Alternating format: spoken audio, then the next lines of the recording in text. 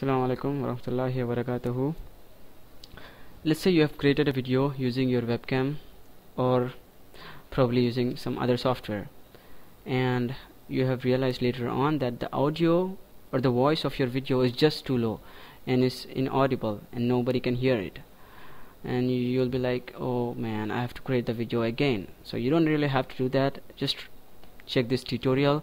Inshallah we'll try to fix the audio okay first I have recorded I've made a recording over here with a low voice. Okay I'll just open it with with movie player yeah. So here is the video and the audio is just too low. It's just too low. And here I have another video the same video where I have processed the audio and now it's uh, now it's perfect. Okay I'll show you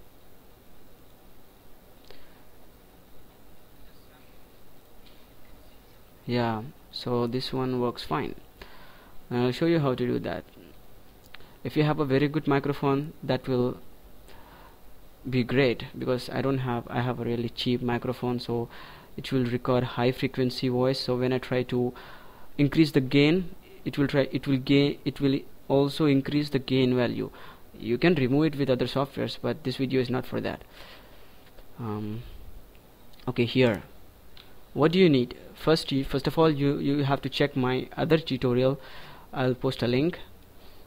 AVI Demux you have to install that particular application on your system whether it be Linux or Windows system.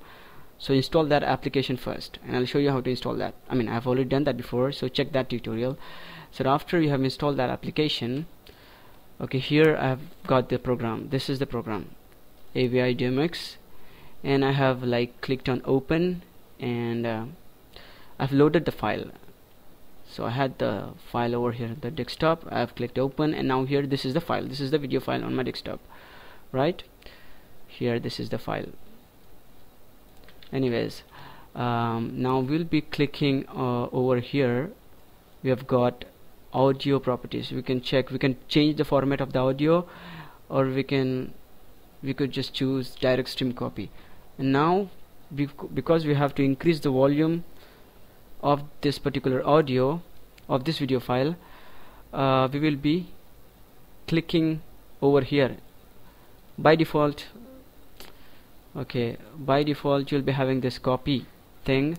So just click over here and choose uh, any other format. So I recommend if you are using mp4 you choose AAC if you are using any other format okay recommend you to use I recommend you to use mp3 and if the video file that you have over here is, is, is mpg then better save it to other format like this over here xvid.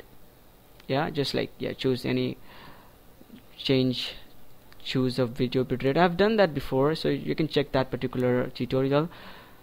Or just uh, stream copy. If uh, your source is AVI file. If your source file is AVI then you just uh, leave uh, this particular codec as direct stream copy. And now okay we choose mp3 lame and then configure okay we choose filters. And here we click we choose the gain mode. By default you will have none over here. So choose automatic press ok and the format is AVI so we just leave it that way. Click save and um, save it somewhere else like what I've done before like processed AVI processed voice.avi click on save. I'll just replace it. And it won't take much time. It is just pro processing the audio over here right? It is just processing the audio okay. So we're done with that. Now let's test it. I've already shown you that before. So I'll just show you again. Open with movie player.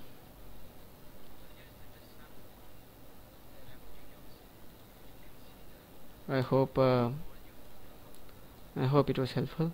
So assalamu alaikum